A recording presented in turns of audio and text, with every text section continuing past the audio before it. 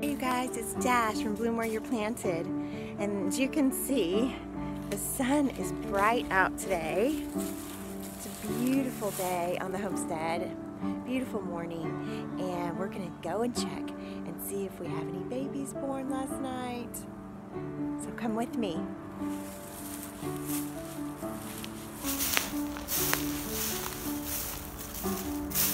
Hi Adeline, how are you doing? Let's see. Oh, look at that.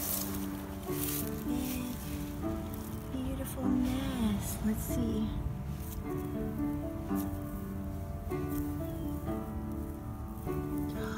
Look at those babies. Look at those babies. Be about one, two, three, which is not a huge amount, but usually she has like seven.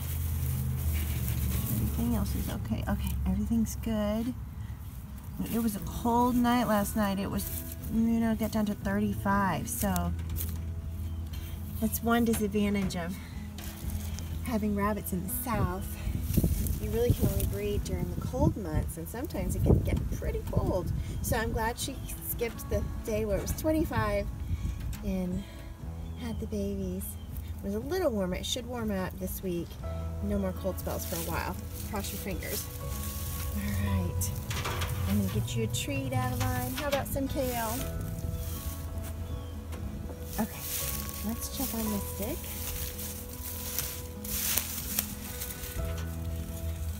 Anything?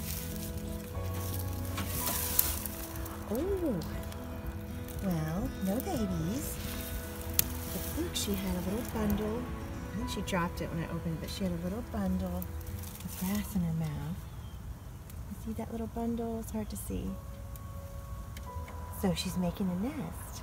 They gather up little bundles of grass in their mouth and busy making a nest.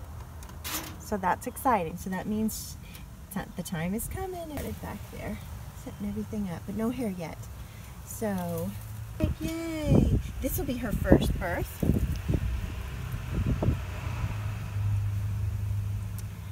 So, um, we're excited about that, and hopefully she won't have any trouble and she'll be a good mama.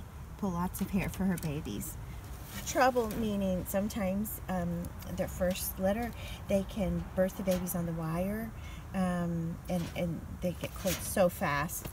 And that sometimes they can kind of step on them, not feed them, and sometimes they just don't pull enough hair, like till after they've had the babies. So, um, and the babies get cold, and it's really hard to keep them alive after that. So, um, but usually it's no big deal, um, and we're hoping that she'll be a good mama for us. All right. We'll keep an eye on her today. Well, that's exciting. I'm going to give Adeline a little broccoli rabe because we have plenty of that right now. Just a little bit because sometimes broccoli can cause gas. So, a little bit of that. And coarse pellets. All right, so let's see. It's a lot warmer now. It's been a, a nice warm day, so I can get one of the babies out to show you guys. Where are they? There they are. Oh. There's a baby, baby bunny. Isn't that sweet? Yes. And people say, if you know, if you touch them, the mother will reject them. That is not true. I've, I've held lots of baby bunnies. Isn't that sweet? He's nice and warm. And like I said, there are only three. It's probably, the buck is not very fertile at the end of the summer. And Adeline's getting a bit older. This is her third year with us. So, um, so that could be it too. So usually she has five to seven. So I think her last litter was seven.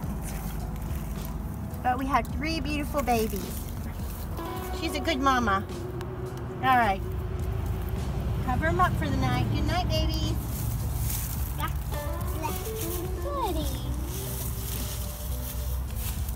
There's Papa. Thanks for your part in it, Papa. That hair sticks to my hands. Right. All right, and then Mystic has not given birth yet, so she's still still waiting on her. But I think she's she's due anytime. They do look a certain way when they're about to give birth.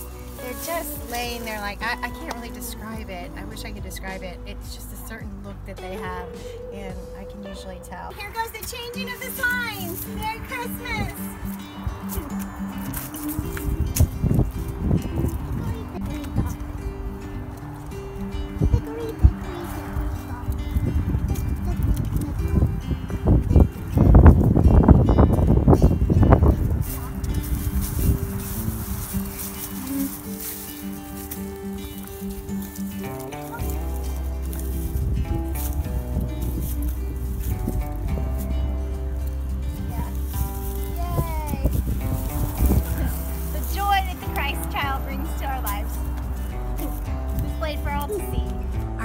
go check and see if we have more babies today. See, I'm so excited. Babies.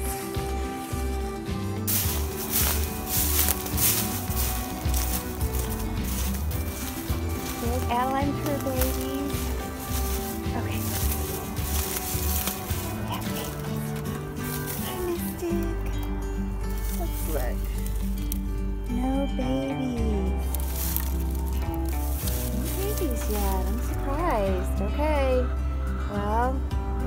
Tonight. She was definitely building a nest, so she hasn't pulled fur yet. So, well, maybe tonight. They tend to have them in the middle of the night. Hi, Christopher. I you're hungry, buddy. I'm coming. Gonna get my farm chores on. All right, we'll check again later.